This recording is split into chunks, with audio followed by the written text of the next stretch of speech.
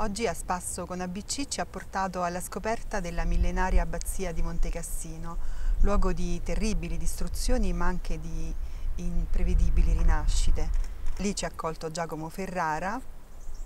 protagonista della serie Suburra. Abbiamo poi visitato il Museo Istoriale,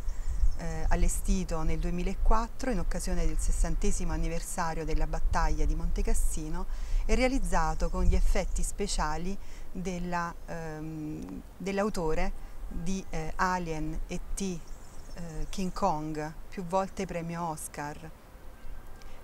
Abbiamo avuto modo di sperimentare, di vivere la battaglia di Cassino, la storia della battaglia di Cassino attraverso un percorso emozionale che ci ha fatto ripercorrere tutti i momenti salienti della battaglia e poi nel pomeriggio